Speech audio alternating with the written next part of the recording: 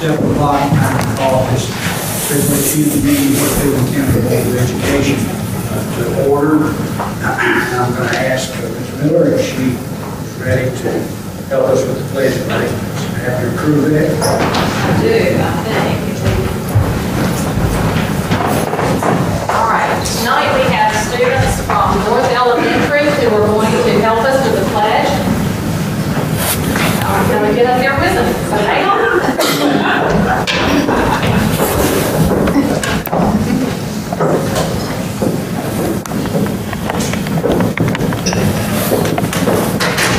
I'm going to tell you who's up here with me, and then afterwards, they're going to introduce themselves. But we have Justin Caldwell, Hayden Slyford, Anthony Anselmo, Madison Lucas, and Brasden Moore, and they are students from North Elementary. So if you would stand for the pledge.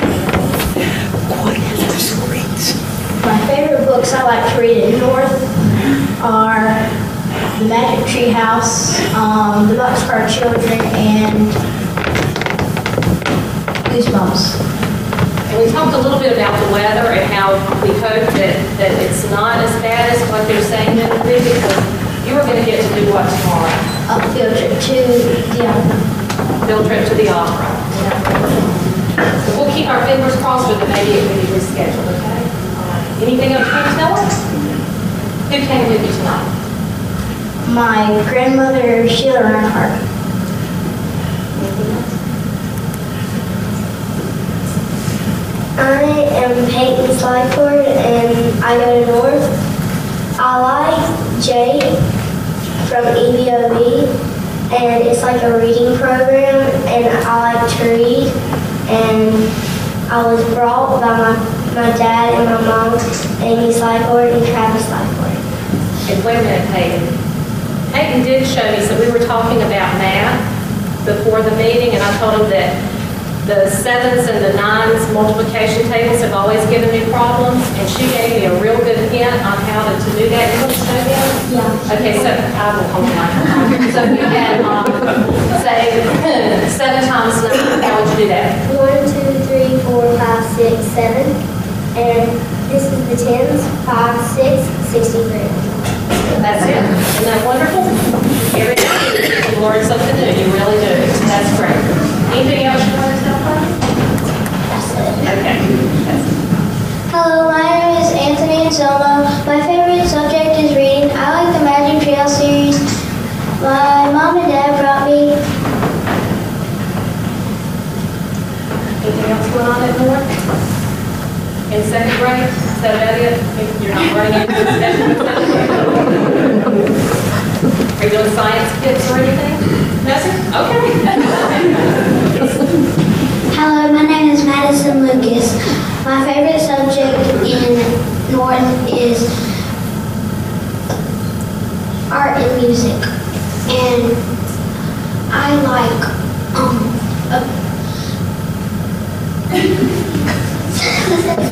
Tell, tell you told me why you like art and music. Tell them why you like it. Those a real good things. It's a, you don't want to? Okay.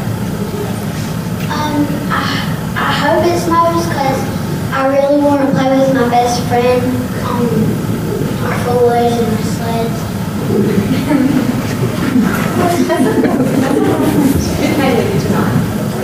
My grandma and my mom, Kristen Lucas and Christy Garland. Hi, my name is Braz, Braz DeBoer, and I, I like about kindergarten. What, what's your favorite center in kindergarten? Books. Books. And so you're already reading books in kindergarten? It's pretty amazing, isn't it? Do you do anything with technology? With computers or anything? Do you have a smart board that you get to go up to and, and touch and do things with? Do you like to do that? Who came with you tonight? My mom. Your mom came with you? Okay. Anything else about Moore? Well, they did tell me that it was a very good school, and that they liked new principal this year, so they were very happy. We appreciate you coming, and we have this one, have a little certificate for you, okay? And we're glad that you came, that with us in the pledge tonight.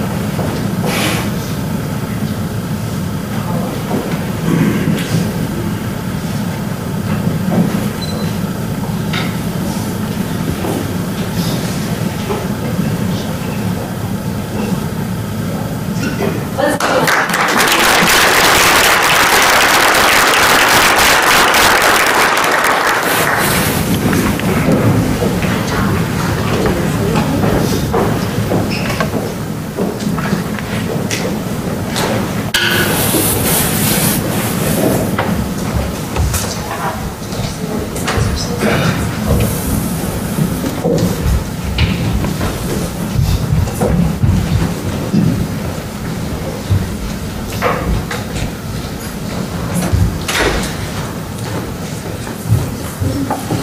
Mr. Harris, now, uh, you heard from my young students, we have just an outstanding group of seniors with us tonight. We do, Mr. Chairman. I was pleased to meet with uh, seniors from our high schools prior to the meeting this evening, and uh, one of them is a, back for a repeat performance, actually was, with their board last time, as part of the uh, veterinarian team from Crest High School, she's back tonight. But we talked about lots of different things, everything from student services and, and smart lunch department, and shared a, a lot of things about schools and, and shared some good information. I'm going to let them stand up and introduce themselves to the board, I'm going to start with you, and we'll just work down this, okay? My name is Ryan Lancaster. I'm representing Crest High School tonight. I attended Boiling Springs Elementary, and my parents are Tim and Lori Lancaster. At Crest, I'm a member of the FFA, National Technical Honor Society, National Honor Society, and Beta Club. I go to Boiling Springs Baptist Church, where I'm on the leadership committee. I work at Boulevard Animal Hospital, and I love to fish and be outdoors. My plans after graduating Crest is I hope to attend North Carolina State University and major in biological engineering in hopes of one day becoming an agricultural engineer.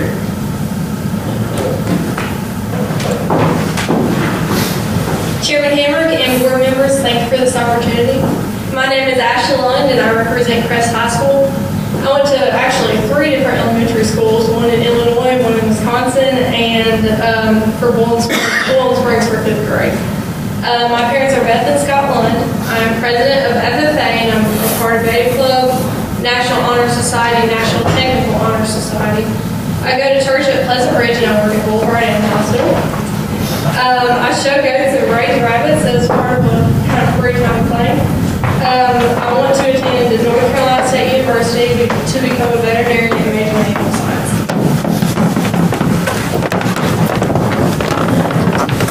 My name is Haley Henry. I'm a senior at the Early College High School. My parents are David and Shannon Henry. At school, I'm currently involved in my graduation project, which is where I, I'm fundraising money for the Carrie Evner Foundation, which helps kids with cancer. And I also work at Ingles on the 74. I plan to attend college at Gardner Webb University and I want to major in psychology. My career goal, I want to be a psychiatrist. Good evening. My name is Janice Nanko, and I am a senior at Kings Mountain High School. My parents are Chan and Case Nanko.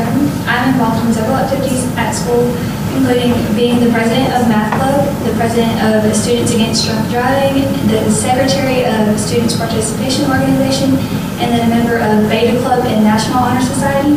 I also volunteer at our local women's club seasonally, and I work at Lucky Samurai in Gastonville.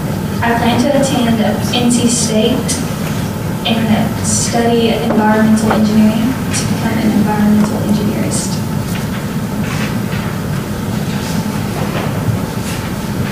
Good evening, Mr. Chairman. My name is Vincent Lewis, and I'm a senior at Kings Mountain High School. My parents are Janon Lewis and Vincent Lewis, and I'm in the band. I'm the section leader of the band. I play the trumpet. I was a track manager and still am. I'm in the county jazz band with Dr. Bruce Boyles right there, and I was a part of the Smart Lunch Committee to incorporate that into Kings Mountain High School. I plan to go to Chapel Hill University and study biology, but I'm not sure what, um, what job I'd like to go into this year.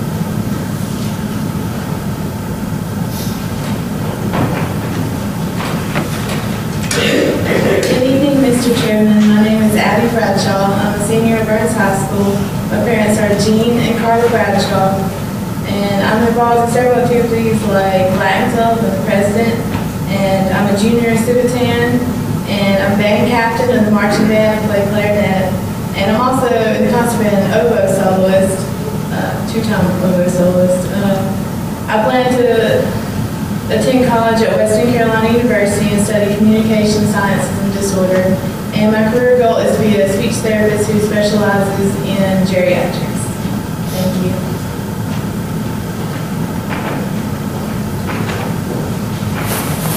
Good evening. My name is Laura Myers. I'm a senior at Burns High School. My parents are Stephen and Pamela Myers. Um, at my school, I participate in the Future Teachers of America, where I am president. I'm also in the marching band, where I am captain. I'm also a Project Unified student leader and a tutor at Burns Middle School. I plan to attend NC State University and major in secondary science education. And my career goal is to become a biology teacher. Thank you.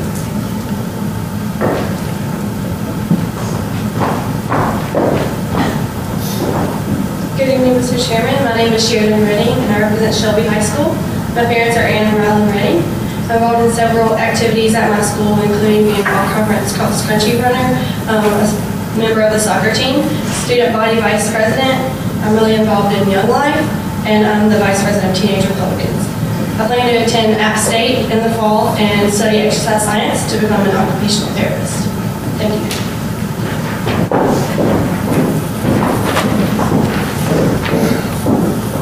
Evening, I'm Melissa Miller, and I'm representing Shelby High School. My parents are Christopher and Xavier Miller, and I'm a part of the sports medicine, part of sports medicine at Shelby High School. I'm the head track trainer, and I also train football. I'm the vice president of the Spanish National Honor Society, and I work at Dunkin' Donuts.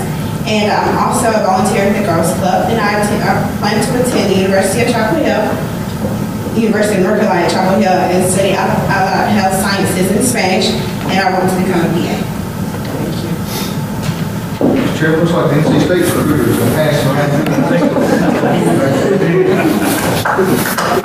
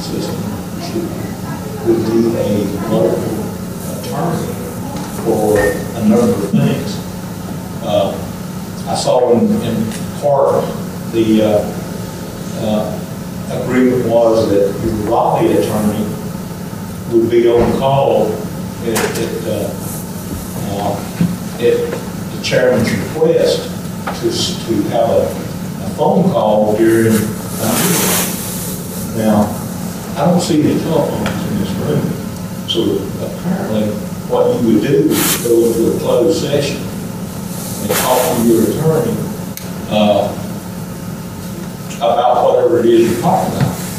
Well, some of the things that you would need legal advice in is not things that you would go to a closed session for. Then you would need a, an open session. So it it appears to me like every time you go talk to your attorney about something that should be discussed in open meetings, you're in violation of the law. And I, I believe, I believe that, that in the end, it's going to cause problems. So my suggestion is to think about, uh, maybe changing your legal arrangements, uh, such that you would, you would hire a local attorney, and maybe, I know the county commissioners, uh, the county attorney sits in on every meeting, and for your retainer that you're paying, it may be that you could get a local attorney to sit in on, on your meetings to advise you. I know things like, uh, going into closed session, uh, specifically spelled out how you do that in, in the law. And I think sometimes we don't really follow that to the T as the law requires. So I just, I'm just recommending that, uh, that, uh, that the school board, uh, consider hiring a local attorney. And, uh, that's all I have to say about that. Thank you. Thank you for your suggestion. Next is Robert Queen.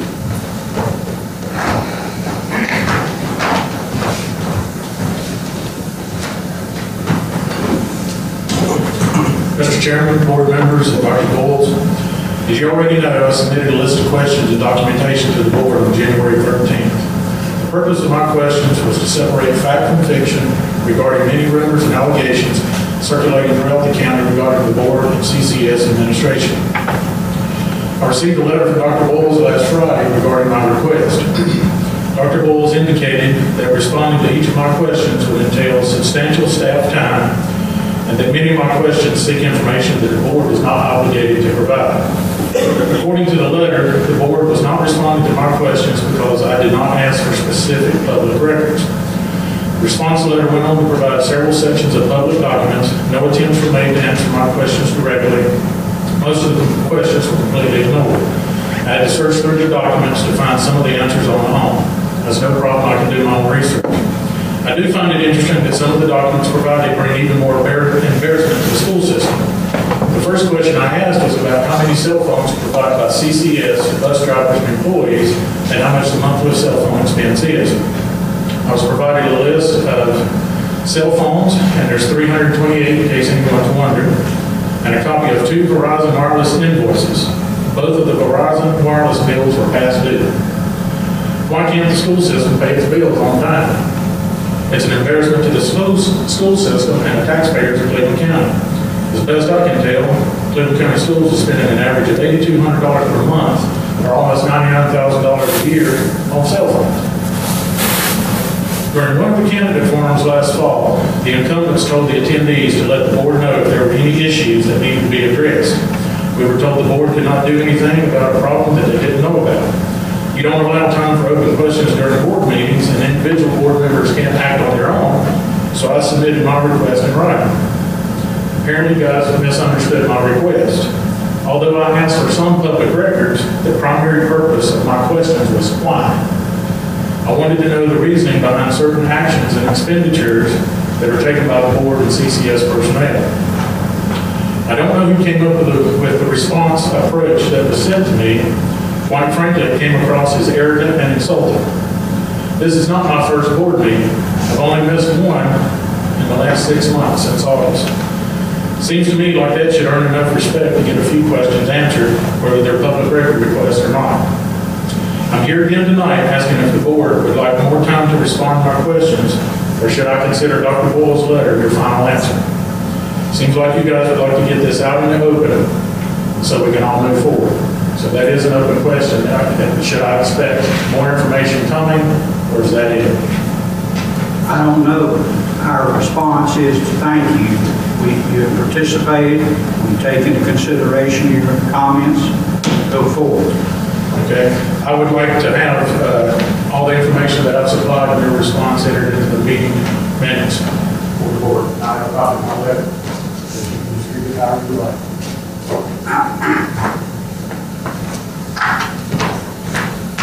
Thank you.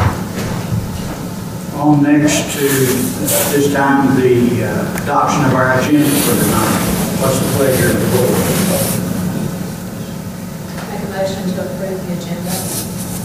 Second. It's been moved and seconded that we approve the agenda, which we all have in our package. Any discussion? If not, all in favor say aye. Aye. Any opposed? Passes unanimously. On to consideration of the minutes of the January business and closed session meeting. Uh, you all have had time to go over that. What's the pleasure of the board? Mr. Chair, I move to approve the minutes Second. Been moved and seconded to approve the minutes of the January 27, 2014 business closed session. All in favor, say aye. Aye. Any opposed? Next is the approval of minutes of the January 27, 2014 closed uh, personnel session. What's the pleasure of the board? Recommendation we approve.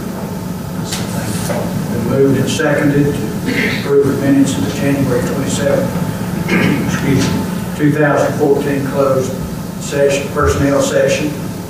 Any discussion? Not, all in favor say aye. Aye. Any opposed? Passes unanimously. Thank you all. On to uh, the uh, globally competitive students. The Cleveland County Promise is here to tell us about their program, and I'm not exactly sure. Mr. Green, are you going to present that, or? Yes, Mr. Chairman. Thank you all. Good.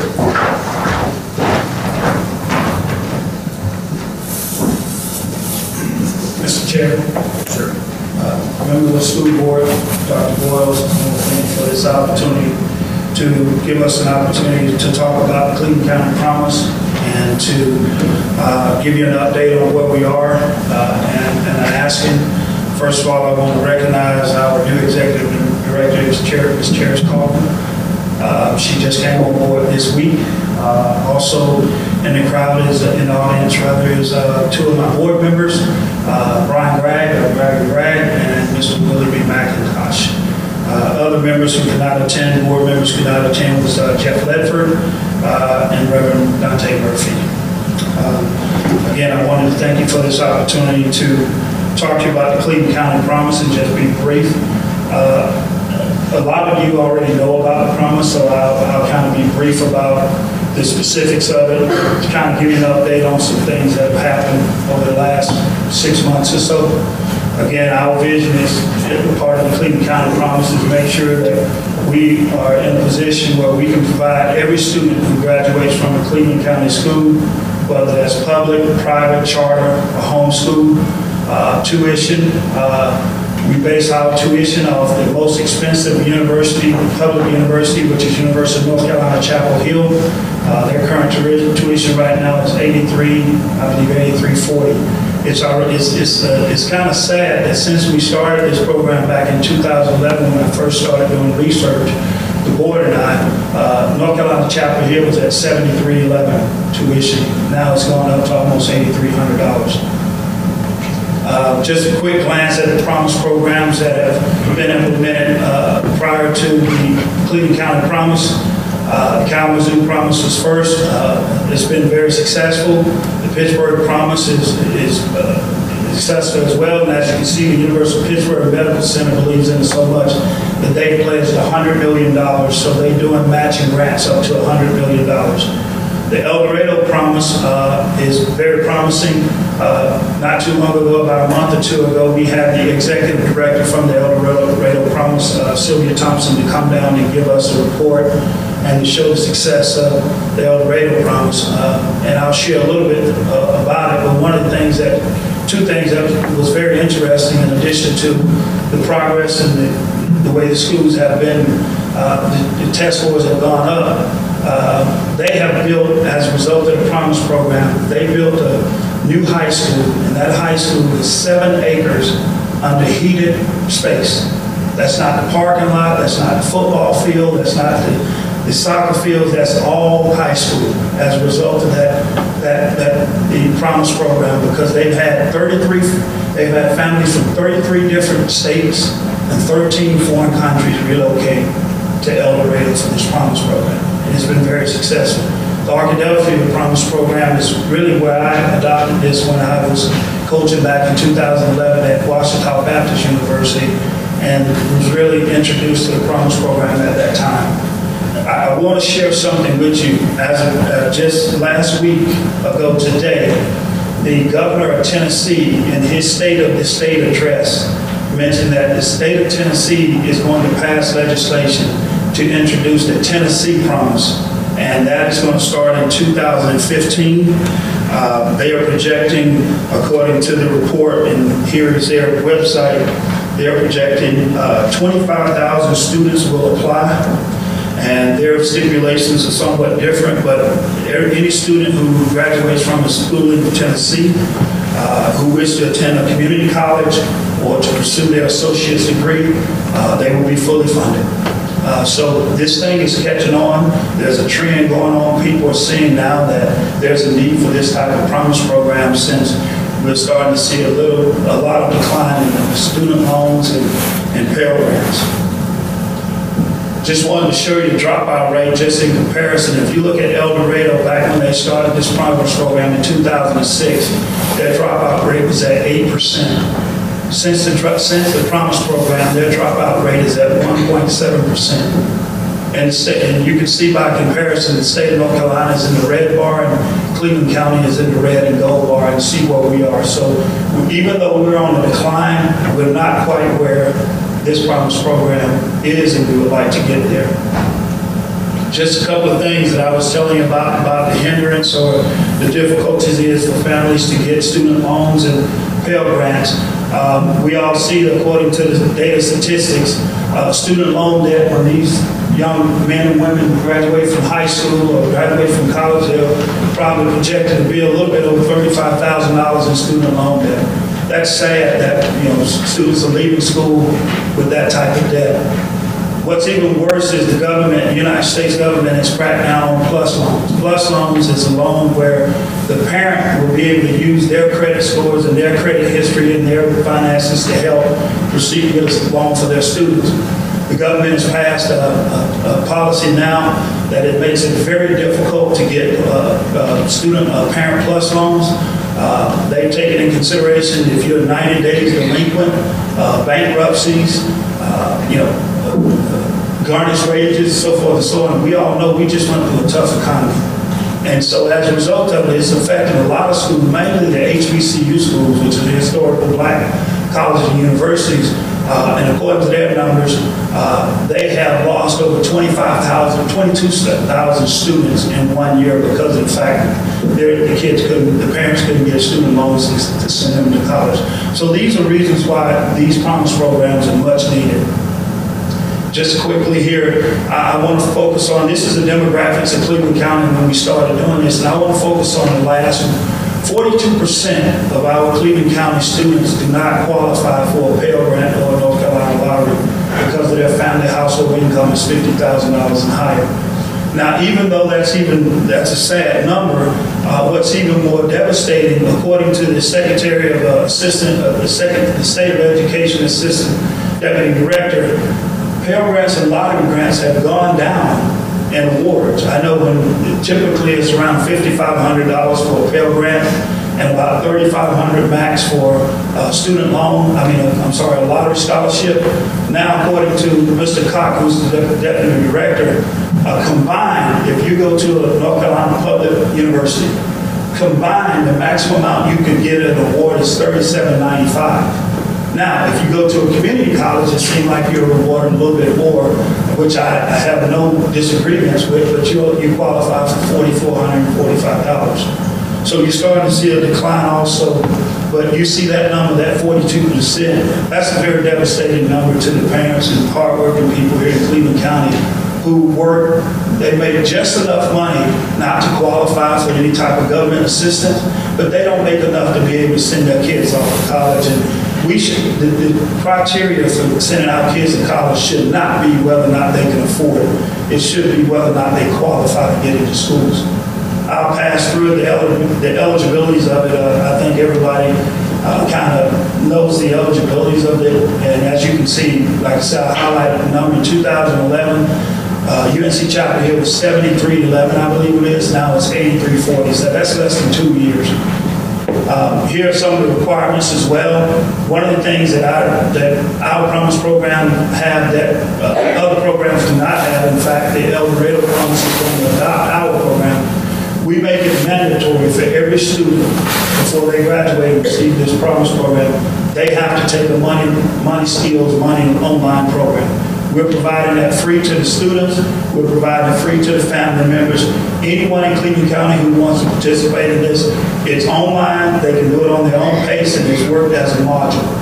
In addition to that, uh, El Dorado, the Arkadelphia Promise has a requirement of attendance. Uh, we'll start off here the first year, once we're funded, the students must attend 85% ninth grade to high school, uh, and then we'll kind of graduate that up to about 90% requirement on attendance. Um, In addition to all the other requirements, uh, you know, we don't pay for summer school. What we want to do is encourage the students to come back and give back to the community by volunteering at a local nonprofit organization. We're trying to teach them to be responsible, uh, but also networking and build resumes so when they do graduate from college, and if all things are even between them and another student getting a job, we all know that the companies always look at what is your community involvement? What are you doing in the communities that you serve? So hopefully, this will be a plus for them. Um, Talk about the support center. Uh, We will have career financial advisors at each school to to help the kids with resumes, to help them with scholarships, help them with the applications, help them with pretty much anything they need, set up visits for school, kind of help the counselors, they add, just give a little extra to the counselors who are working so hard to make sure that these, these students are going off to college. Uh, These are the resources, the evaluations. One of the things that the career and financial advisors will do that will be a benefit to the school board and the Chamber of Commerce and everybody around. We will be able to track data. Right now, we have no idea when our kids leave Cleveland County. We we do not really know where they're going. Uh, So one of the things that we want to do is continue to track the students, know where they are, so that way, if we have a kid, a family from Cleveland County out in California, we have a kid want to go to UCLA, and we have a family out there, hopefully we can reach out to that family and say, hey, can you be a mentor to this student? or if we have businesses who have contributed to this, to say, hey, can you help out and maybe give this kid a, a student an internship? So we will be, a- this will be a valuable resource to us moving forward. Uh, That's pretty much it on the Promise Program. Um, I just want to add one, a couple of things. Since, over the last couple of years, I've been doing this and working around uh, my position. uh, I serve as Vice President of Government Relations and External Affairs for a company in Greenville, South Carolina. My primary job is doing legislation across the country. Uh, And so when I talk to people about what we're doing in Cleveland County, they're excited. And that- and I've had a number of counties and a number of people here in North Carolina, as well as in other states, have asked me to come and give presentations and help them to create this program. What I've said to them is I'm not creating create a program until I get my program running up in Cleveland County, then we'll work with you. Um, So that's just had to know that people are excited about this, and you can see by the, the state of uh, Tennessee with the governor using this as its address. What we're asking now for the school board, one of the things that we want to do, if this is up here, um, you have in your package an overview of what we would like to do to kind of kick our fundraising efforts off. We want to do a program called the Links of Learning. Uh, And the goal is to break the Guinness World Record for the largest paper chain link uh, by a team. And we want to get the community involved, we want to get the school system involved, we want to get the kids involved. And our goal is to, to make, a- the the current record is 54.33 miles. We want to create 55 miles of chain link, and we call them the links of learning, LOL, uh, sort of the language that the kids speak. And we want to, we want to raise a total of $5.5 million to get this started. 55 miles, $100,000 uh, per mile. Each chain link will be 10 inches in diameter. Each inch is a dollar, so you can buy a full chain link for $10. So we have come up with this concept and this idea, and what we're simply asking the school here today is to simply give us permission to go talk to the counselors, go talk to the principals in the school, get them excited, get their input, and then maybe at your next board meeting, we will have a full proposal as we, uh, as we move forward. We'd like the students to be involved in the fundraising anything, just getting information out to their parents, um, churches, any kind of organizations that they're in. But also, uh, any kind of grassroots funding like this is going to be starting out at, um, is also bolstered by the fact that if you guys show interest, if the community shows interest, we can do matching donations from, for grants and from, uh, trusts and things that, uh, we can take this grassroots and the excitement and take it to, uh, you know, some big money and say, look, this is how excited we are, we want you to buy into the program too. So, uh, thank you. And uh, she could have put it in better than I could. And One of the things, we have gotten commit, some commitments from outside uh, with my job and the people that I network with on a regular basis. Their mindset is, look, if we see the community excited about it, if we see they have some input, and I've shared a number of these with Dr. Boyles and a couple of members on here, we've got people from the outside the county, uh, outside the state, who's wanted, to- who want to help and jump in, but they need to see that the community is excited about it and the community is involved in it. So I think with our relationship with the national media, um, as a result of the Shelby Star paper uh, uh, article that ran uh, Super Bowl weekend about me holding the Super Bowl trophy, I got a call from W, uh, WCCB in, in Charlotte and they ran an article. I mean, they ran a story uh, two days later. So if people are starting to see it and people are excited about it, we just need to get the local community excited and educate them. In addition to the Promise Program, just to throw it out, we would like to, at some point in time, have four community town hall meetings uh, in Upper Cleveland, in Crest District, in Shelby District, and in uh, Kings Mountain District, where we invite the public out and, and educate them on it, and give them an opportunity to ask questions and get involved. Because it literally can affect every single student the. Not, it doesn't, it, every single student can take advantage of this. They graduate from high school and go to college. And it's ridiculous, the idea that you're entering the workforce, the adult world, with thirty thousand dollars of debt, of student debt, I mean, that will follow you, trust for almost the rest of your life, it seems like. Um, and this, this can this can take that away. This can give them a start that's um, miles ahead of other communities. It, not only that, but it can also maybe even stop some of the brain drain of people leaving Cleveland County, bringing them in, bringing in industry, because how wonderful would it be to tell a business, yeah, we want you here. Also, all of your employees should have your kids in college can clearly affect every single student in Cleveland County. And I, don't know that there's another program even remotely that. That said, our presentation is complete out. Of course, that we will be. Thank you,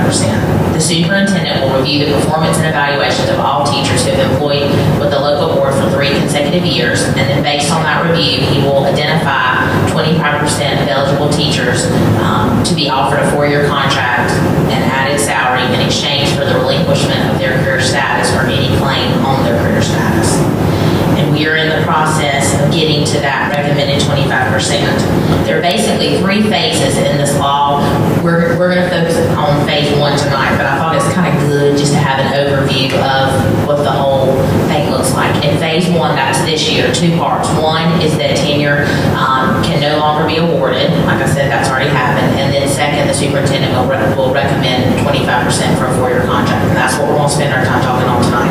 Phase two um, is what happens in that intermediate before everybody loses tenure, and there will be people that are on four-year contract that we offer to.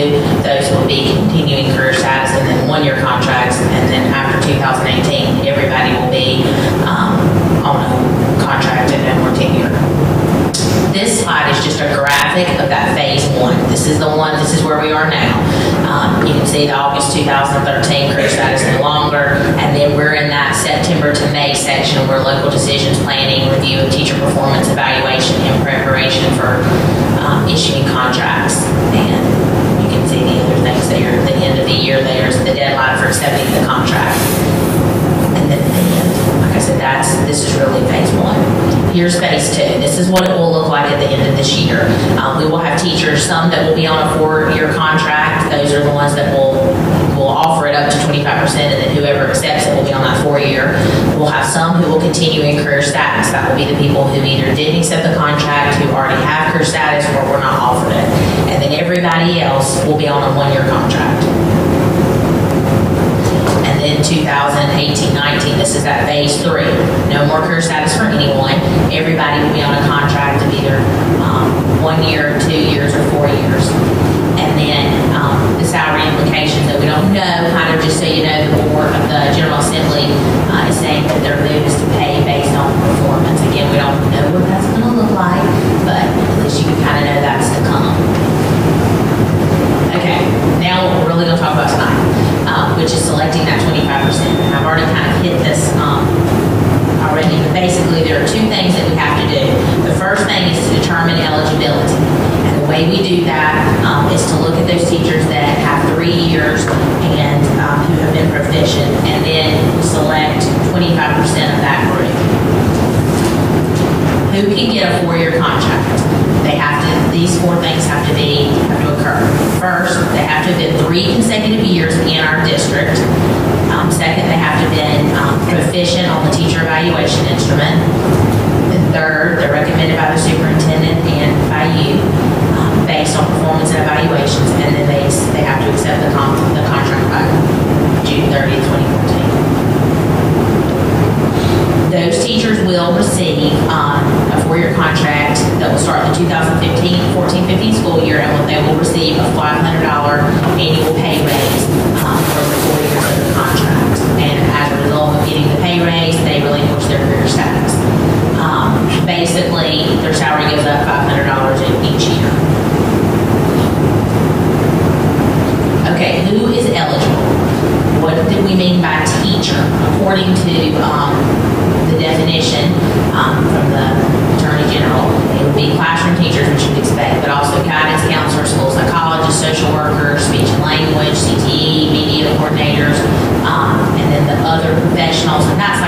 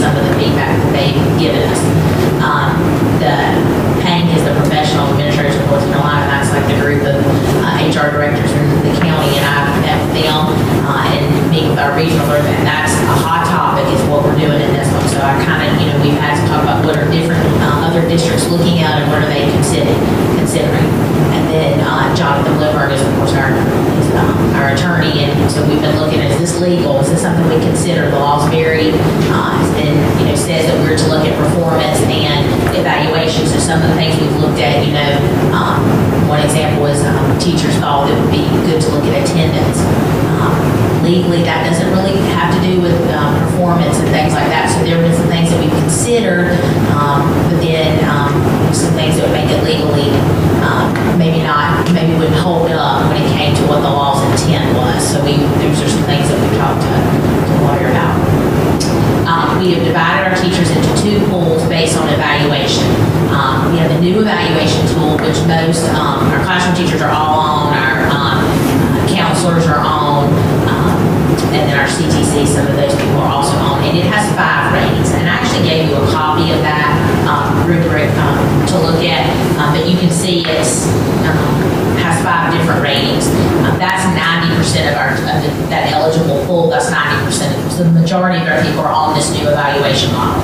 Now, psychologists, social workers, they are still on what we call the old evaluation uh, and it only has four ratings. So we felt like it was unfair um, to put them all in the same when their evaluation looks different. If we were going to get points for different ratings, it's different. And um, I know for um, former principals, anybody that's looked at it, the, the distinguished on the new model compared to the F standard, the above standard on the alma, they do not, they are not the same. It is a different type of model. One's a growth model, one's not. So we really need those to be separate pools. Um, and then we've looked next at how, you know, what method will we use for getting that 25%. Like I said, we can't just look at if they made it distinguished because it's, it's too little people. We can't just look at accomplished because that, that makes us over that 25%. Um, so we've considered a rubric and we've looked at um, a contract. The rubric. Um, some of the things we've considered, the first thing is the evaluation data. We've looked at the year, um, the last year, which was 12-13, and we've taken an average of the standards. Teachers who um, were on the renewal year or um, probationary had all of the standards, so they had five. Or teachers who were not on the renewal year only had um, a rating in center one and four. So whatever they had, whether it was a rating on all or on two, we, we took an average of it. And then we've um, assigned some points based on where they were.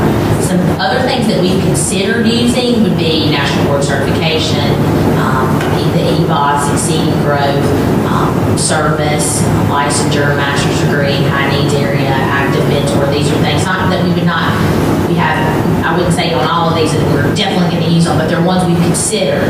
Um, we've considered them because we can find a link. Um, because we can know, you know, some of the things, of course, that we know teachers do, like collaborate, which is so important. How do you measure that? And how do you know, is, how does that look in different places? So we were, these are things that we could know, we could know that, that someone had done. Basically, we have, we've looked at two methods. The first one would be to, um, you you have your eligible teachers and you give them their, their points for evaluation, you give them the points for national board, and then you look at who's our top 25%. The second method would be to say, we're going to look at the evaluation data and we'll take everybody who has, you know, an accomplished average and above, and then of that group, we apply the rubric. Um, so what we're, you know, when we've done that, we looked at tier one is you have to have this on your evaluation, and now we're going to look at some things to, to pull our 25% from that.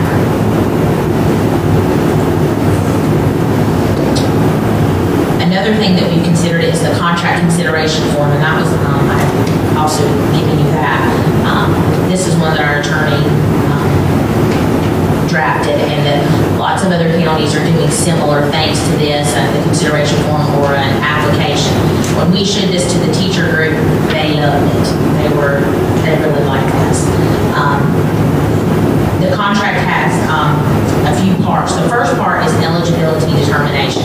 I personally really like this section because, you know, we've been going through and looking for that three years um, and, you know, that they've had proficient, but this would give us a chance that every teacher, regardless of if they've only been with us one year, would fill this form out.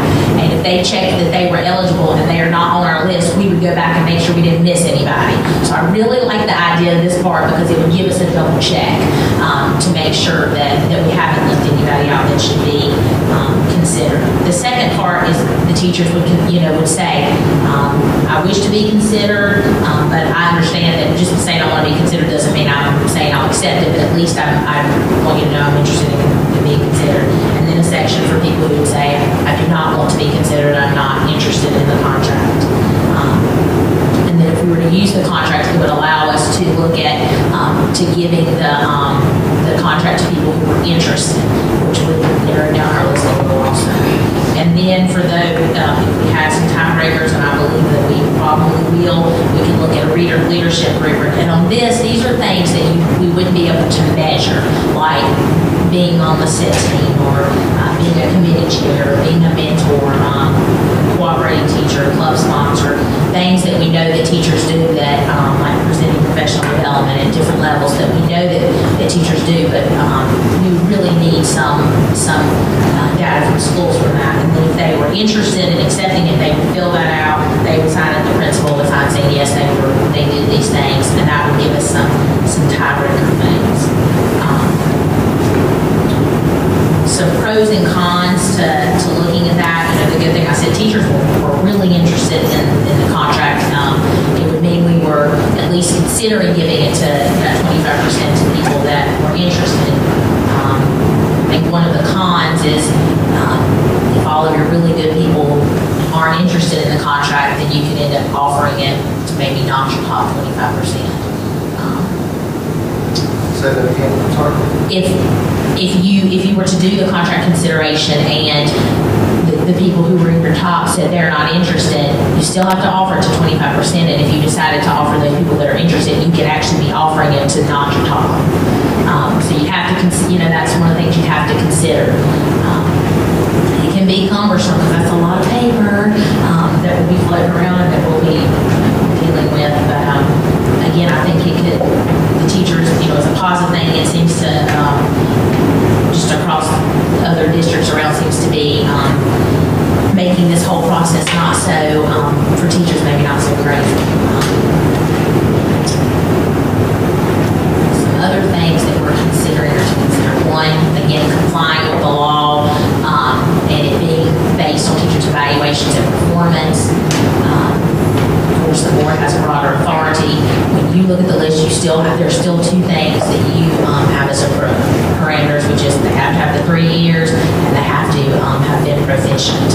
Um, and then, of course, you're trying to preserve the principal-teacher relationship. We don't want this to become the favorite people, you know, the people who, you know, whatever, receive the contract. You're looking for a fair and defensible method, something that we can, um, can say. One of the things that has come up about the contract consideration form when we met with teachers is, um, you know, well, well, some schools, this committee is more important, and in some schools, this is more important, and, you know, on here, and, and what about, should we have an open-ended section? And, um, you know, I think when we've looked at it, we felt like it did need to be standard across the district. However, I think one of the things that, and it's, it'll, it's on the next slide too, that, that Dr. Boyles is in favor of, and I agree, is that, um, you know, we, we may offer twenty-five percent by school, so that, you know, there's, there comes to be a lot of, um, um, conversation about the rubric, and one of the reasons I gave it to you is you can look and see, I mean, it's a difficult rubric, what we're asking them to do, and there's a lot of, um, a lot of room for, for people to read it differently and to think differently, know, about. There's sometimes, you know, teachers well, my principal, you know, they rate harder on this. You know, Your, principal rates easier, so when you're comparing schools, but if we did twenty-five percent at each school, y'all have the same rate, or, uh, y'all have the same, um, um, opportunities to be on a committee, or to be on the team, or to be on, um, whatever, so we would have maybe a little more, um, fairness if we looked at going by school. Assuring that the selected method is administratively feasible to implement, um, endeavoring to minimize any negative impact and to be teacher friendly. And I think, you know, again, I go back to, I think that our district has done such good work and it showed up in the SACS visit with collaboration and, um, professional learning communities and you want people to continue to share things. And you're saying, I'm, you know, part you know, twenty-five percent of you is going to, is gonna get this extra money in the contract, you can see how that can hurt collaboration and those things. So we're doing, you know, we want to minimize that. I think that's part of the, you know, who's interested in the contract, um, would help deal with some of that. Some other questions we're considering is should we institute an application, that would be the contract consideration form, um, that we're considering. And then would we, um, select them district-wide or school by school. Um, I think we're leaning towards school by school. Um, We've looked at some district when we've done some things just to see like how it fell on its zones. We haven't looked at specific teachers, but if we did the contract, I think we would, that would give us that information. Um, Should we use a criteria that solely relies on evaluation? I think that would be great if we could, but we just, that data doesn't exist. We, you know, we can, again, get it to maybe forty percent. And then, um, if not, what what other criteria would we use? And would we use just to break ties? Um, would, should we consider other leadership roles? And if so, what should we consider? And that's kind of what we, we've done on the consideration form. And then, uh, what will we do with non-classroom teachers? And I think in that one's where we're doing them kind of separately. Next steps. Right now, we are, our plan is to, to put out the contract consideration forms to, to teachers in the next, um, week and then have like a two-week turnaround, and then we'll be also doing the the intent forms for the district, whether or not um, that will, because if somebody's retiring next year, obviously, we would not be extending a four-year contract to them, so that would reduce, that could reduce some of our number. Um, And then we'll update you on our progress. March, April, maybe May. Um, Dr. Boyles will um, recommend a list to you. Um, This comes, this comes straight from the law, that the list is recommended in closed session, you revise the list in closed session, and then the list is approved in open session.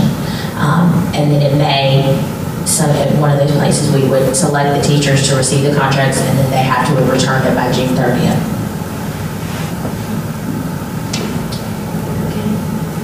Questions?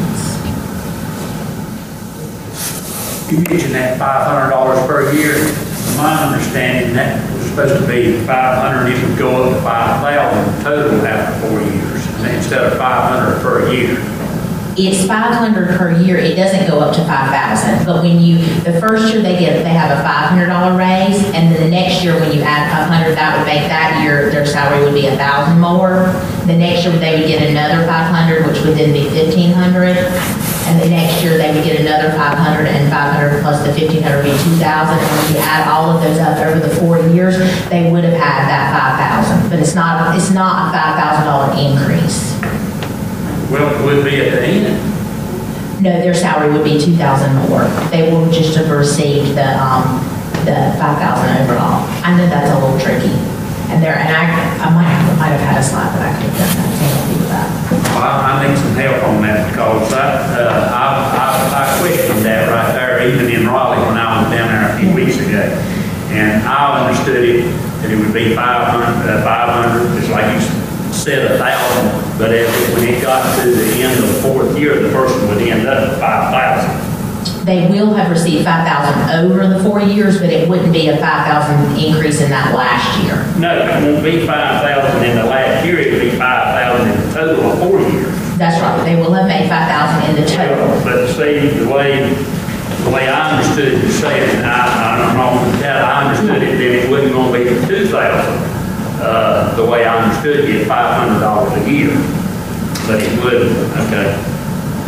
And will, will that, what you're coming up with, will that come before the board, before the, any recommendations is, and fill us in on what's taking place?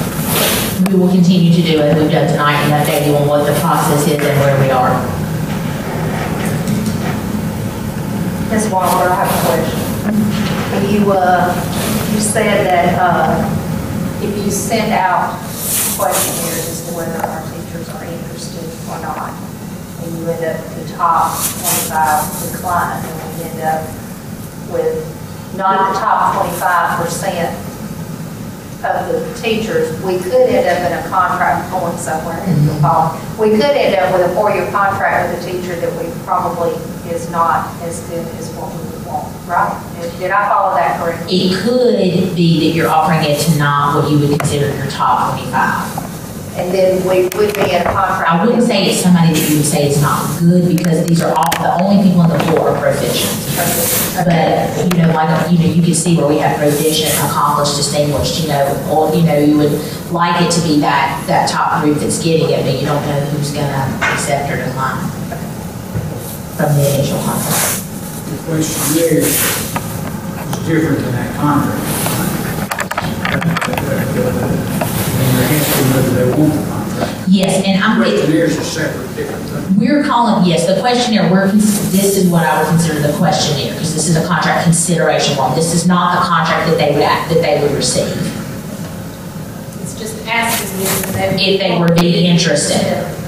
And when, you know, when we met with the teacher advisory, one of the things that they had asked, um, was, you know, what if everybody declines it? If everybody declines it, will you still offer it to twenty-five percent? Yes, we will, because Dr. Boyles is required by law to offer it, you know, to bring it to you. You're required to, to, for twenty-five percent to be recommended. So if, if less than twenty-five percent was still interested, I mean, we would offer it still to people who had said they were not interested. Because we're gonna offer the twenty-five, you know, regardless of what happens. So even if we offer it to them and and say after the twenty-five percent decline, we don't have, We don't re-offer it. We don't have, we don't have like a backup list that then gets a, it's a one-time to the twenty-five percent, and then what happens, happens. That's right, we only have, twenty-five percent do not have to accept, just twenty-five percent have to be offered to. Me. What if a person's uh, eligible to retire, and they think that they're gonna be in that twenty-five percent, they decide they, they just soon stay here another four years and get that increase just because. And then they're, they're getting that, then that's gonna just make their retirement more on down the road. If Yeah, they could certainly, if they didn't want to retire and instead stay on, that would be fine. They would be able to do that. Well, is that to our best interest, instead of offering it to somebody that's coming on up, instead of somebody that's eligible to, eligible to retire, and then they see that they might get a five thousand dollar raise to stay on? Well, I think there's been a lot of discussion among teachers and among other groups on exactly what you just said, but we have to make the decision on who we offer it based on performance and evaluation, not on what we think they'll do financially or what we think, you know, about their retirement. That's stated in the law. It is. I must say, I I applaud you on doing your job, um, but Must express my discontent with Senate Bill 142. Um, We have great teachers, and I think in Cleveland County Schools, we have more than 25% of teachers who deserve such a thing. I know it's hard for you to do this, um, but I I do applaud you for doing your job, um, but I'm not happy. You know, I I think the rest of the board feels the same way, but definitely not happy with this. This is very troubling. Like to agree with uh, Mr. Chairman uh, sad that the law was passed. I think it's a very poor law. I think it's, uh, says a lot about our legislature when they only want to reward twenty-five percent of our teachers. Uh, when we have got a lot of very outstanding teachers and to go through the process of trying to pick the twenty-five top teachers, percent of the teachers, is going to have bad effects of teachers working together, cooperating, doing the kind of things that we've been pushing for years to get teachers to do, come together and work together and not worry about who gets the credit, uh, just do things for the benefit of the kids. And I think this is actually moving us in the other direction. So I think that's very bad law, but I think you've done an excellent job of working on this, this, uh, coming up with some ways to actually, how do you narrow down this large pool of teachers who will qualify for this and to a, to just twenty-five percent. Uh, I do think it's a, a very good move to look at it from school to school rather than on a district-wide, because I know as principal, I might have graded a little harder maybe than Mr. Harris, or maybe Mr. Harris as principal graded a little harder than me. So, uh, having, uh, looking, if you put us all the schools together, then those schools that have principals that grade the teachers a little harder than the others, those teachers will be at a disadvantage. Uh, so I think it would, uh, be very good from that point of view. Also, if we look at giving some extra points for the activities at the schools, uh, high schools have an entirely different structure, uh, than the elementary schools, so I think it would be very beneficial to go ahead and, and look at it from school to school rather than look at it as a whole district. And, uh, but it, this looks very good, there's a lot of work that's gone into it, I really need for that. Uh, and it's going to be a difficult decision, and nobody's going to be happy with this. Our teachers aren't going to be happy with it. Uh, certainly, I don't think the board's going to be very happy with it, with having to do this, and I know it's, uh, principal's not going to be very happy with having to do it, but, uh, uh, they didn't ask our opinion when they passed the law. A question. Do you have any history or information on what they're doing in Guilford County? Just saw some information that they've challenged in this particular law. Do you, do you know anything about it? Just that the board has said that they are not going to identify twenty-five percent, um, even though the law requires that they do. There, there is a seminar at the weather department Thursday and Friday. And I, at the last minute, so I signed up for that. I get there to talk. Once they talk about that A motion thing, which I think refers to some of that. And I believe they're, tomorrow's when they're voting. I mean, that will be after they do that, but They've done a preliminary voting. it would give us an opportunity to see what they've done. And I think in talking to our teachers, I think they feel very similar to how you told Mr. Hall, which is they don't like it, but they understand that y'all have to do what the law requires. Um, and they're not mad at you for doing what you're asked to do, and they understand that it's just a position we're.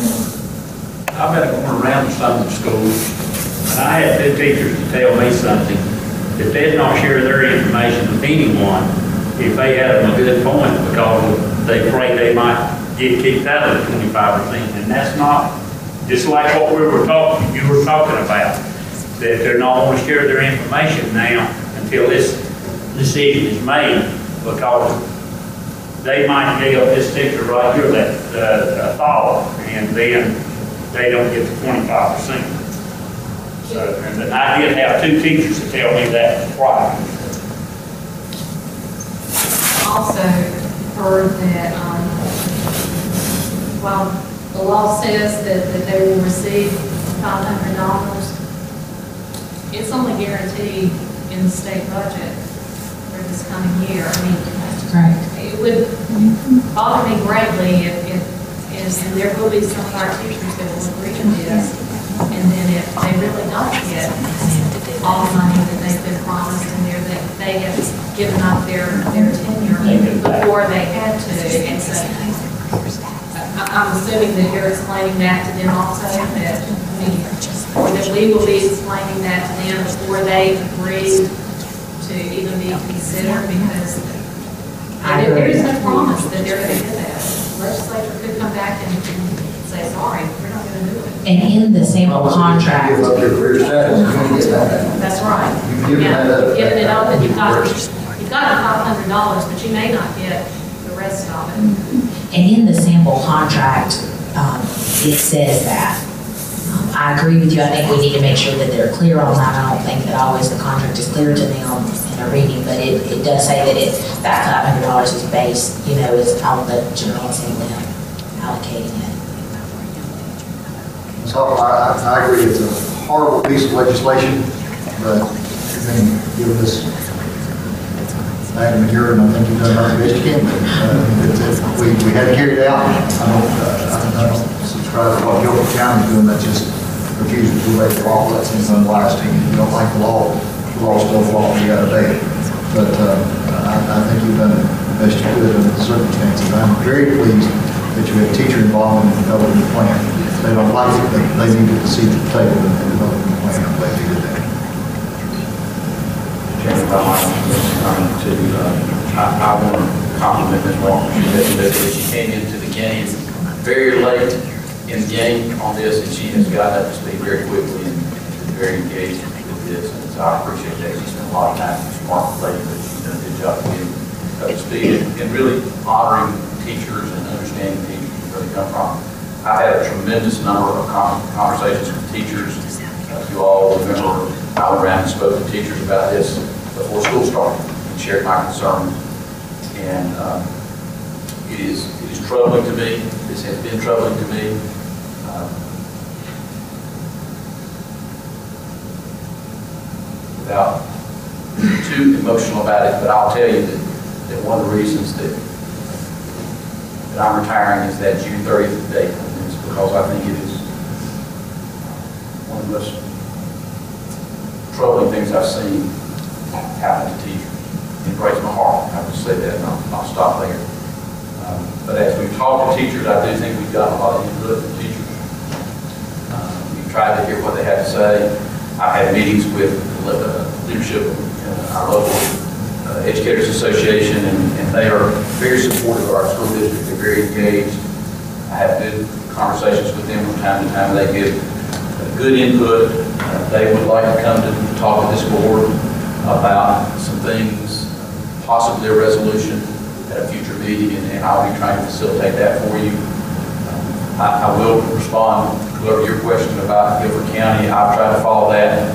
Uh, it's interesting, Guilford County is, I think, the only school system in the state that has a licensed attorney as their superintendent. And that Dr. Green there uh, is um, trying to lead that. I, I'm- I agree. I, I don't think we can pick and choose the laws we abide by. Uh, But ultimately, this falls to a hundred falls to 114 of my colleagues and I across the state to make this recommendation to. And We're trying to take it seriously, give it as much time as we can. I Want to hear from you all tonight, and I've I've had individual conversations with you, I know your business about this, many of you have been involved, talking to legislators and others about this, and I appreciate that. You've talked to teachers, Uh, but, but we'll move forward with it, we'll do it the best we can do, the most professional we can do. I- I'm pleased that we're going to be able to hopefully do a process where teachers can declare they're interested in this, because I think that'll help. But when the day is done, we're going to bring you a recommendation of twenty-five percent. And um, there are a lot of teachers that are talking about declining, and and I certainly understand that, and I, we'll, we'll work with them in the ways that we need to. Uh, But I do want to say to you, yes, put you on notice right now, that we're probably going to be dragging our feet and bringing this recommendation as late as we can. That's after talking with, I've talked to our attorneys, uh, other attorneys, I've talked at at length uh, to the uh, General Counsel for NCAE and other organizations, other superintendents, and there's a general feeling that there may be some changes in this in the legislature. There's some hope there. Whether there will be or not, we don't know, but we'll give that every opportunity to at least clarify, is the money going to be there? Is it, uh, if there's, a- you know, I would hate for us to offer it to a teacher then something change, and once they've given up their tenure and relinquished that voluntarily, that the state will come back and restore that, and there will be some problems there. So just understand, as, as late as we can into May, we're going to bring that list to you. It's not a, not an attempt to hide anything at all. We'll give you the information we can, as as we can. You know, those of you who've been on board for a while know we bring that list to you. We've always brought it to you a month or two early, because I think that's important information you have time to study and digest. Uh, But this one is troubling, and I just want you to know kind of where we're thinking. I would welcome feedback from you on this process. Ms. Walker has been kind of the leader on this and shepherding for us, but she and I talk just about daily, two or three times some days about this. And every time we talk about it with other superintendents and attorneys and others, another question comes up that we really hadn't thought about. I guess part of the challenge is that this is a one-time deal. This will never happen again, we don't think, because if tenure is eliminated, then there will be no need for this in the future.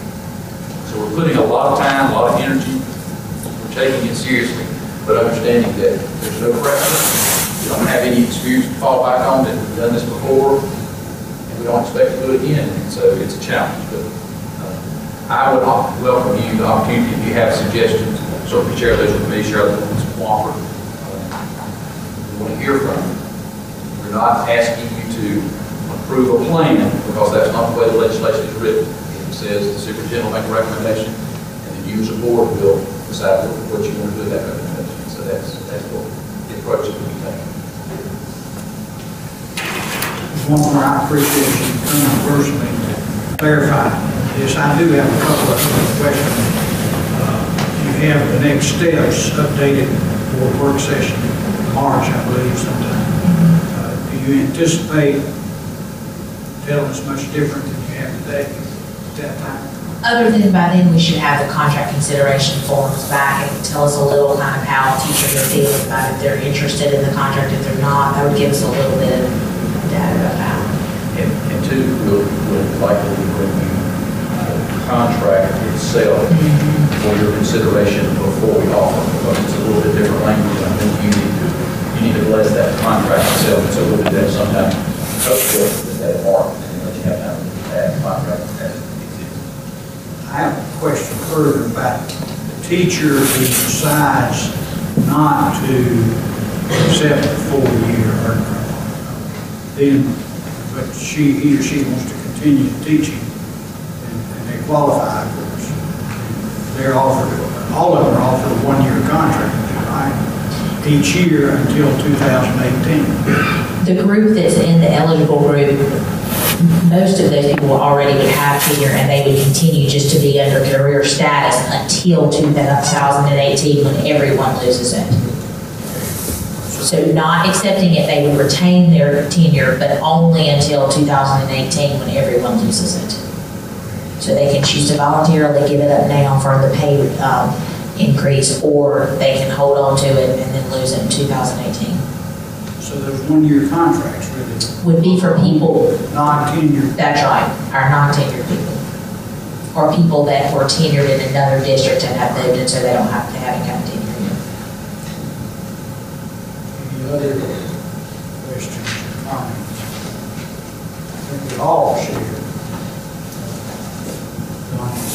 comments, Terry's comments, uh, Rogers too. I'm sure Richard will join in too. So thank you very much. One more, Mr. Chairman, our seniors have been with us for a couple hours now, including having that in early. If you have no objection, uh, maybe you could excuse them so they get sworn. That's fine with me.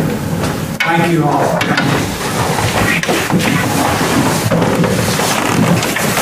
for coming.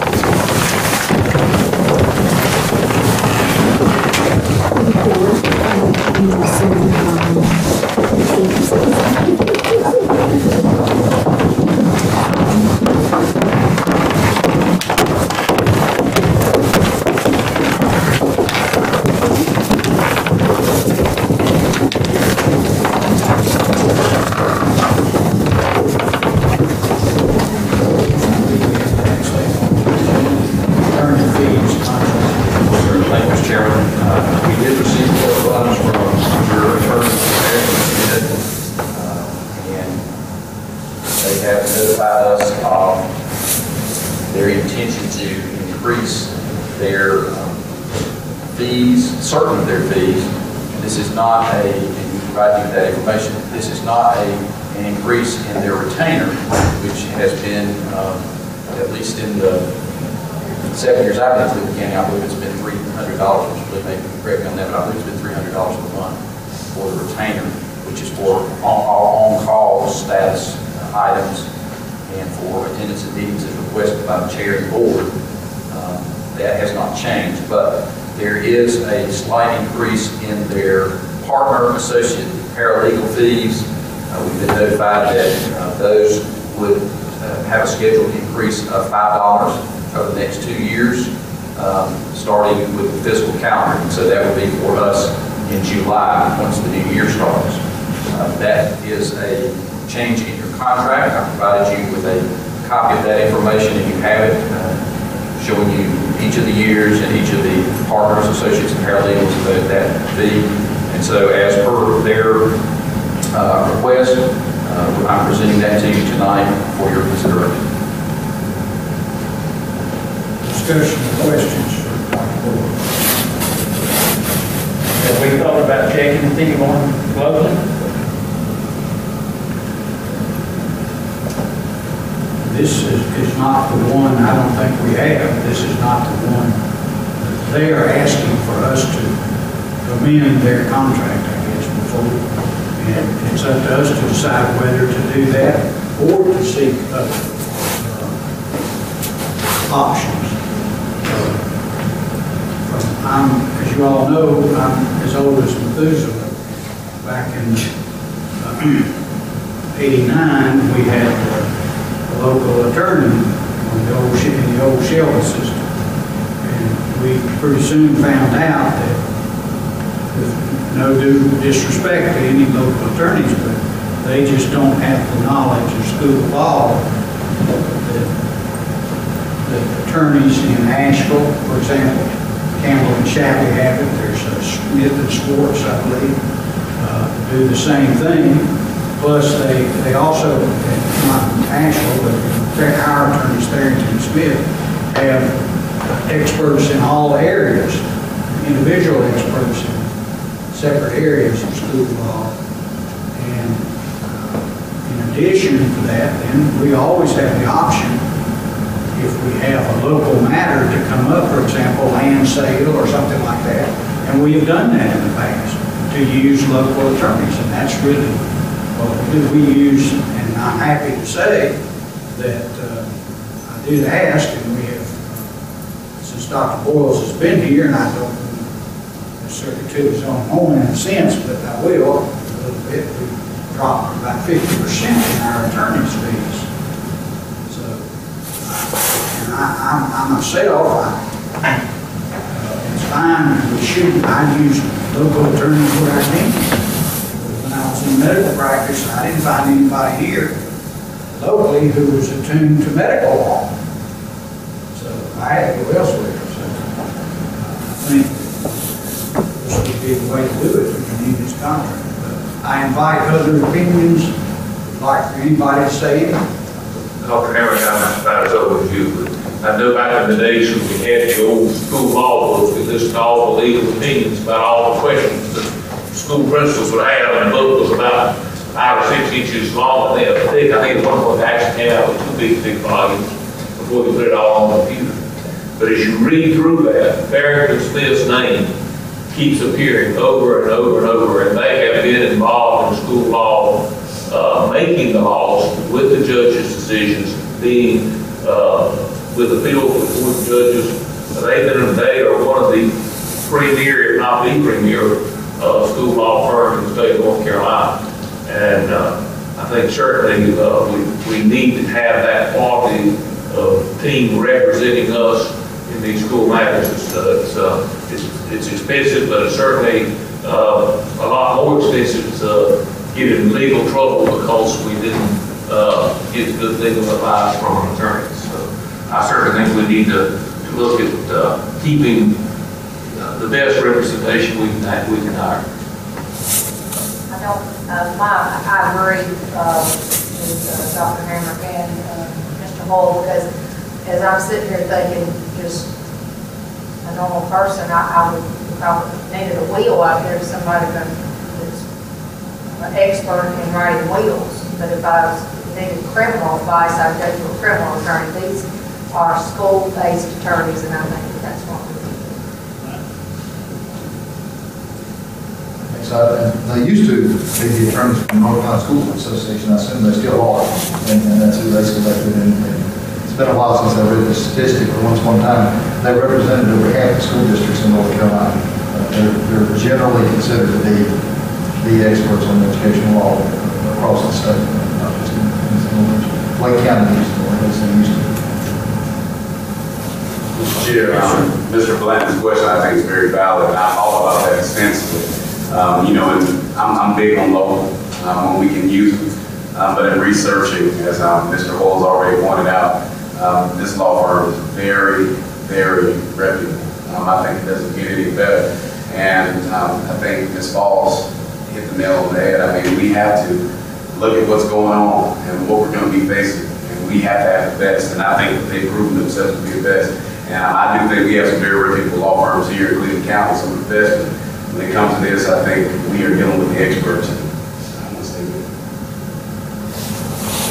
I don't think I can add anything else to what y'all said, because they are, as long as I've been on board, the, the name Tharrington Smith has always, um, been, um, excellence in, in school law, and, and I think, like we keep saying, we're looking at local matters, that, um, whether it's, it's real estate or something like that, we have these local attorneys, like we should, and, um, but we don't have a law firm locally that specializes in school law.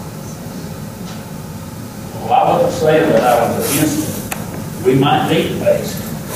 We do. We Definitely need to invest, and I think uh, over the past eight, nine years that I've been on it, and very pleased with their professional, how professional they are and the uh, information that they give. That being said, what's the pleasure of the board?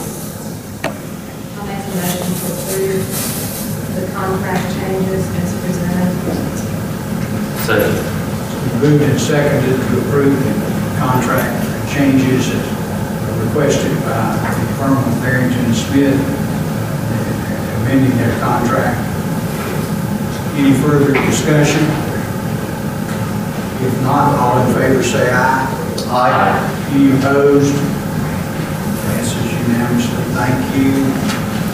On to the less involved situation, I believe, is Greg Cheryl still present. I am.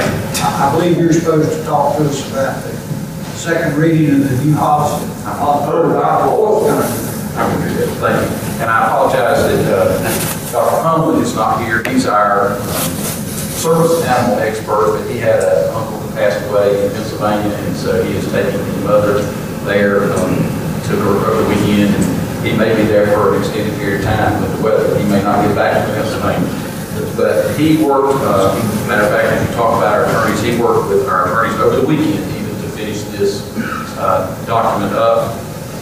You know, we brought it to you last time, kind of short notice because we do have this request. And so there are a few changes to. We we, uh, highlighted, redlined those for you, and you have that updated copy. I'll highlight those. The the really only change to the policy itself, you'll find on the very first page in parentheses at the end, the end of section two. Uh, The attorneys tell us that uh, we do need to include on a limit, as in limited circumstances, uh, miniature horses as um, service animals. That is a growing trend and uh, certain cases where we would have that. And so, uh, and pay your attorneys to give you that advice. They have researched this extensively for us and believe we need to put that in there. What's the definition of uh, That you got past accountability. I I was going to ask you about that because I knew that came up at a- an association meeting. I wondered if we could. I- I'm certain it's a specialty animal in that regard, and I've seen miniature horses that look about the size of a dog, but that's about it. Some are small. But it does, it does say limited circumstances, and so, but the, uh, when you go to 4305 R1, you'll see uh, just a few changes on the first section there, wherever possible. Request for the use of service animals must be made at least 10 days in advance, and service animals will not, uh, will not be permitted to accompany students or employees in the school without prior approval. So that's just uh, another caveat to ensure that we've got the appropriate approval, and you see all that. Some changes there. Uh, Changing, just making clear that the- on, on G, that it's the animal's handler that's responsible. That may or may not be the student itself, because there could be cases where the animal is uh, in an exceptional children's situation, is not really under control of the student, but is under control of the animal. Most of those, I understand, would be cases where it's an animal that alerts, and we do have some of those where an animal will alert because of uh, seizure or disorder or a um, maybe diabetes or those kind of things. And that may be a student who is not uh, the animal themselves. Under the health and safety, the attorneys have said we need to strike that whole section. Um, They've gone back and really researched this again from an ADA standpoint and believe that that's uh, not necessary, uh, that part of it. And then uh, the 4305R2, that uh, has changed slightly. Uh, At the very last point, documentation, uh, not for the need of the animal, but that the animal is trained for the task for which it's being used. That is a change there. And then the 4305R3, no changes to that. I'll be glad to try and answer any other questions except for the miniature horse question. Any man. Dr. Walls, do we currently just have one uh, student on? We, we we have a pending request, parents that, you know, they're, they, they know it's a request somewhere in the future, and they will get, uh, us, they, do notify us of that. We're, we're anticipating one additional request that, that we've had conversations with parents about, and so we expect that will come.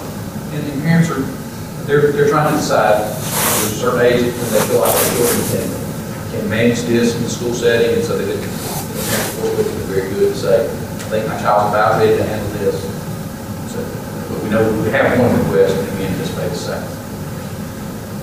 I know this is an area of of law that's really undergoing a lot of changes now with uh, many people trying to get service animals on airplanes and various, uh, in schools and whatever. The real question is what kind of, what kind of animals do you allow and what kind of uh, circumstances? And I think our attorney has done a real good job in coming up with uh, uh, plan that addresses those needs, that it is actually a, a, a real need of the child and not just, I want my pet to be at school with me. And I think they've done, a- done a good job of differentiating that. These are very, very well-trained, very specifically trained animals compared to children. I had a chance to observe one back and very impressed with the, the way the animal operated and the way the student operated with it. Not in our district, obviously, but another place. Um, It's an impressive thing to watch. Now, they're expensive, I understand that, it's a lot of expense. Any, any more questions, comments? If not, what's the pleasure of the board? Make a motion to approve the uh, service animal. Is there a second? Second. It's been moved and seconded that we approve the new policy regarding service animals. Any further discussion? If not, all in favor say aye. Aye. Any opposed? Passes unanimously. Thank you. Uh, On the student transfer request that you have in front of you, uh, what's the pleasure of the board? I'll make a motion we approve the uh, student transfer request as recommended by the superintendent. Second. Moved and seconded to approve the student transfer request as recommended by the superintendent. Any discussion? If not, all in favor say aye.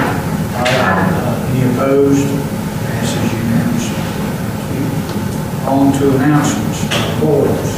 Thank you, Mr. Chairman. As promised last month, we have given you a complete list of upcoming events and activities. I won't go through all those, but hope you'll notice, we've got quite a few March with the annual days, our robotics, our math, those kinds of things. We've got chorus, fun coming up.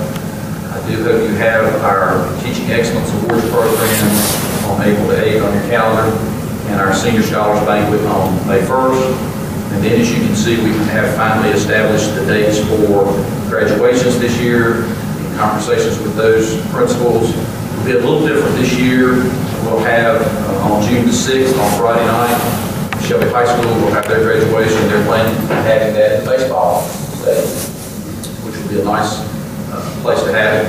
And then on Saturday the 7th, we'll begin at 9 a.m. with Kings Mountain graduation on, on their campus, the football uh, stadium there. And then the the Crest Burns graduations uh, Crest at 12 p.m.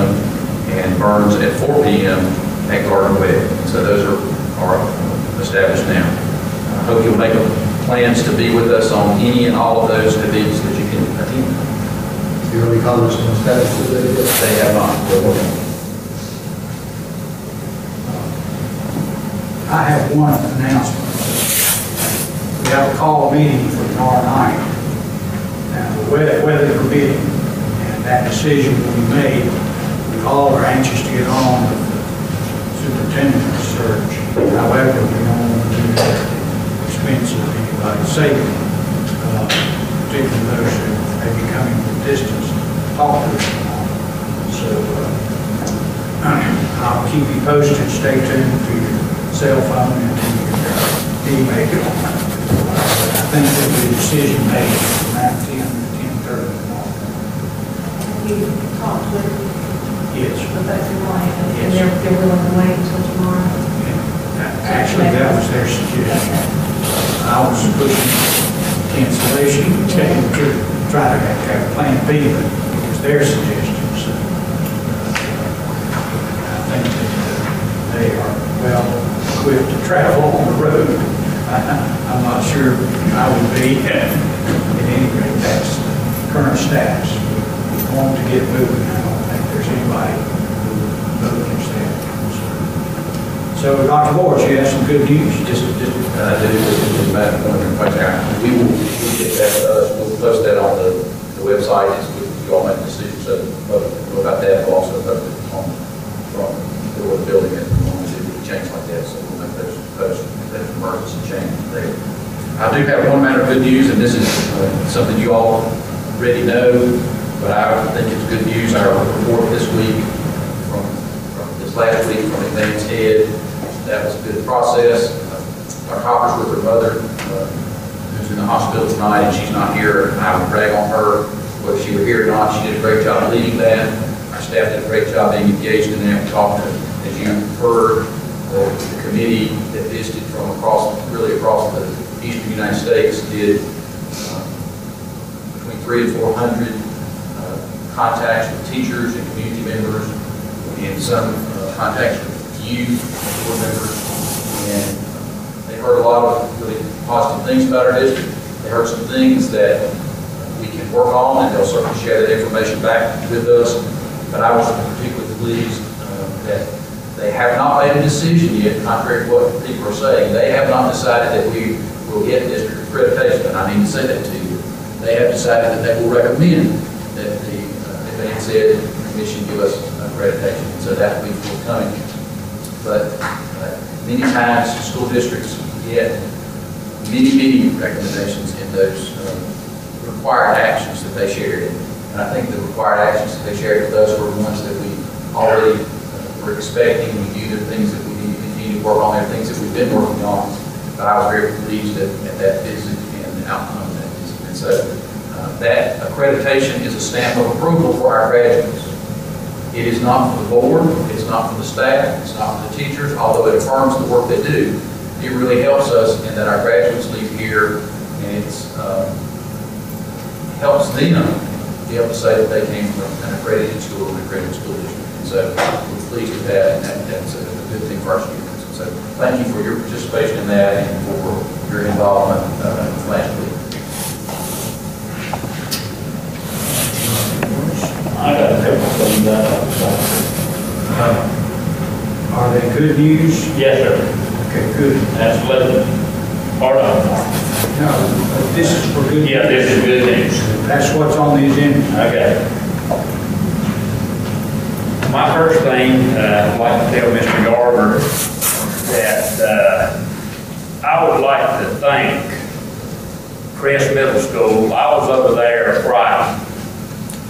And Miss Goins over there with her staff. It's absolutely a marvelous how they do their housekeeping over there. It was so good that it's sure gonna make it easier on Mr. Garber in the summertime doing his maintenance work or any other time, and they do such a good job.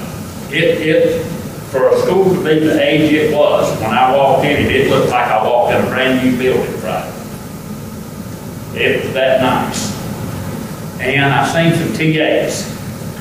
Uh, it's a marvelous what these TAs, and if I can help them in Raleigh, for us to put TAs in these classrooms that's needed all day long, everywhere, I'm going to be fighting for that. Because they are a very crucial piece of work in some classrooms that I went to, that I've seen, and I went and watched the program. And that TA handled some of them autistic children that was in this classroom, that they wouldn't have got to done that play if it hadn't been for that TA. It was that, it was that good, and they handled those children that way. I'm going to keep working in these schools, and I'll, I'll congratulate anyone that I see that's doing a great job. That was absolutely the most impressive thing I've seen in Crest Middle School in the last time.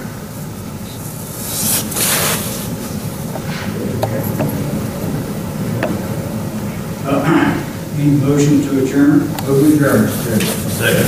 Been moved and motioned in second. All in favor, say aye. Aye. Okay.